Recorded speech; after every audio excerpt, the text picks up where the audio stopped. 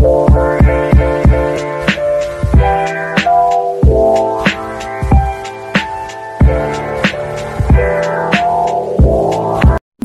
let's try to pay a Coco Life United Coconut Planters Life Assurance Corporation. Isa siyang uri ng insurance sa Pilipinas. So, mayroon pong client na gusto magbayad. So, uh, second time na to pero mga bagong customer din niya. Anyway, let's start. Sa video po ang gagamitin natin kasi I tried Gcash pero parang wala naman siya doon. So, video po.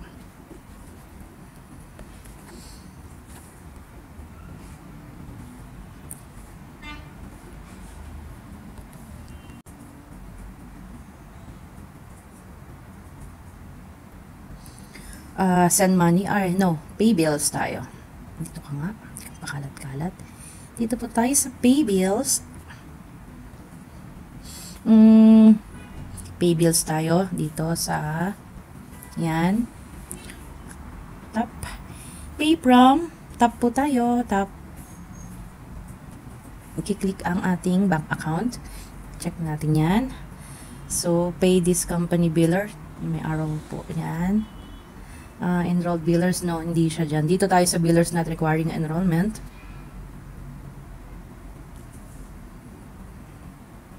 Hanapin natin si Coco Life United Coconut Planters Life Assurance Corporation. Mm -mm, Coco Life, where are you? Hi. Okay. So, ang babala, babayaran po ni client ay 6,000. Then, ilagay na lang po natin ang kanyang pangalan sa remarks kasi kailangan kong screenshot, send ko sa kanila. Ang pangalan daw niya ay, yan. Bawal po yata ang dot, so wag tayo magda-dot. Special character sa remarks. MC, MC, subscriber name. Nagay din natin si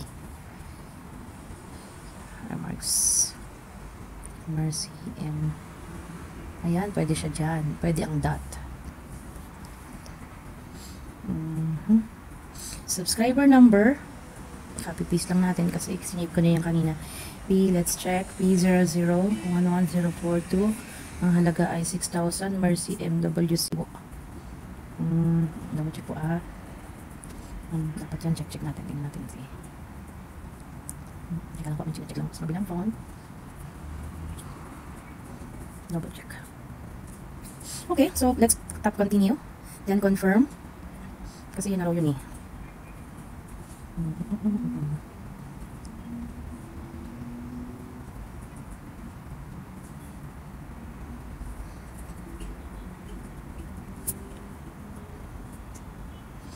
so, yung screenshot natin kay client, pipiliin natin mamaya. Pero bakit wala yung kanyang ano? Pay another tayo, subukan natin. The same, kasi dalawa po yun eh. Pay this company biller. Billers not requiring enrollment. Dalawang 6,000 po yan.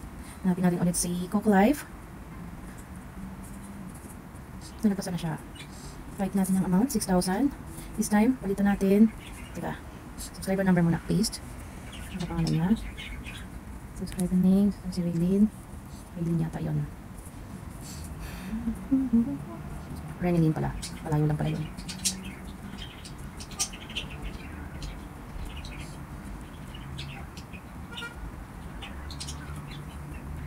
Natin.